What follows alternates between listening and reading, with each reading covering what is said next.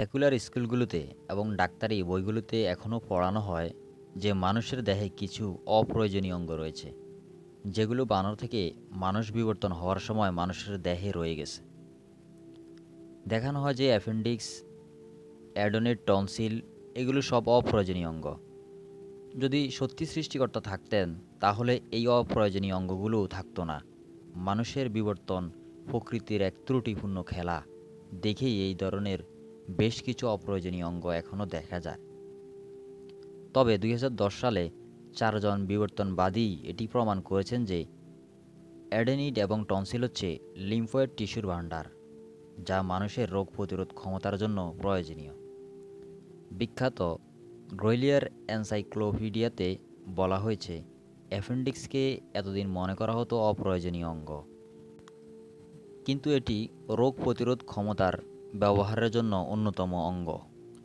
Science ম্যাগাজিনের ফেব্রুয়ারি দু হাজার তেরো সংখ্যায় একটি আন্তর্জাতিক গবেষণার তথ্যমতে অ্যাপেন্ডিক্সের বিবর্তন হয়েছে কমপক্ষে বত্রিশ বার ভিন্ন ভিন্ন প্রাণীতে।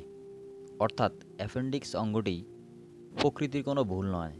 এটি একটি উদ্দেশ্য প্রণোদিত অঙ্গ, যা বিশেষ কিছু প্রাণীকেই দেওয়া হয়েছে। তারা প্রস্তাব করেছেন যে, এই অঙ্গটি মানুষের পরিপাকতন্ত্রে হজমে সুবিধা হওয়ার জন্য প্রয়োজনীয় ভালো ব্যাকটেরিয়াকে সংরক্ষণ করে। যদি কারও বড় ধরনের ডায়রিয়া, কলেরা হয়ে পরিপাকতন্ত্র থেকে প্রচুর পরিমাণে ভালো ব্যাকটেরিয়া হারিয়ে যায়, তখন অ্যাপেন্ডিক্স আবার সেই ব্যাকটেরিয়া সরবরাহ করে। সময়ের পরিক্রমায় বিজ্ঞানীরা প্রমাণ করেছে যে মানুষের দেহের ডিজাইনে কোনো ভুল নেই, কোনো অপরিকল্পিত ঘটনা নেই।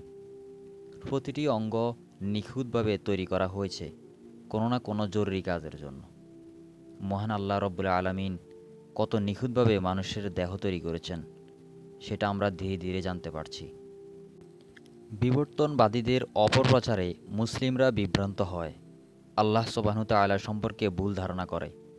আল্লাহ রবুল্লা আলমিন কখনোই প্রয়োজন ছাড়া কিছু করেন না। তার প্রতিটা কাজ অত্যন্ত নিখুঁত।